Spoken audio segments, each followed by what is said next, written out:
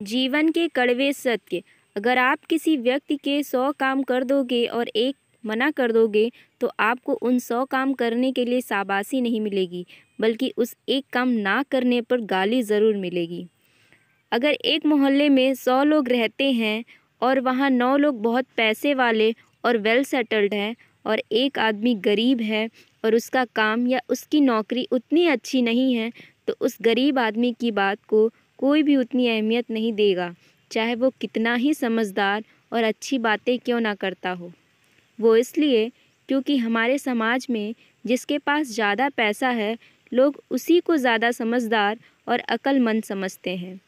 गरीब आदमी कितना भी समझदार और ज्ञान की बातें करने वाला क्यों ना हो, पर उसकी बात को कोई भी अहमियत नहीं दी जाती।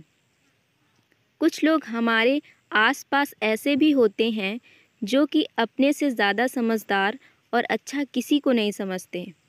उनका मानना है, जो वो कह रहे हैं या कर रहे हैं, बस वही ठीक है। वो दूसरों की बात सुनने और समझने को बिल्कुल तैयार नहीं होते।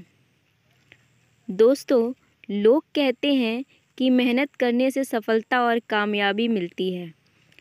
लेकिन यह बात सौ प्रतिशत सत्य नहीं है। मैं ऐसा नहीं कहता कि मेहनत नहीं करनी चाहिए। मेहनत तो ज़रूर करनी चाहिए, लेकिन ये ज़रूरी नहीं कि आपको कामयाबी मिलेगी ही मिलेगी। अगर सिर्फ़ मेहनत करने से ही कामयाबी मिल जाती तो लाखों लोग ऐसे हैं जो रात दिन काम करते हैं, मेहनत करते हैं, पर फिर भी सिर्फ़ गुजारा ही कर पाते हैं। आपके आसपास कुछ ऐसे लोग भी होंगे जो कि ज़्यादा कुछ नहीं करते, फिर भी उनके पास बहुत धन, दौलत और नाम सब कुछ होगा। हमारी कामयाबी में जितना महत्व मेहनत का है, उतना ही हमारे नसीब का भी है। अगर नसीब में नहीं है तो कितना भी मेहनत कर लो, आपको कामयाबी नहीं मिलेगी। लेकिन प्रयास करना नहीं छोड़नी चाहिए। सब लोग कहते हैं कि पैसा भगवान नहीं है। लेकिन पैसा भगवान से कम भी नहीं है। उसका उदाहरण आप एक मंदिर से ले लीजिए। अगर आप मंदिर में ज़्यादा पैसा चढ़ाएँगे तो मंदिर का पुजारी भी आपको अलग लाइन में ले जाकर बिल्कुल भगवान की मूर्ति के पास बिठाकर पूजा करवाएँगे।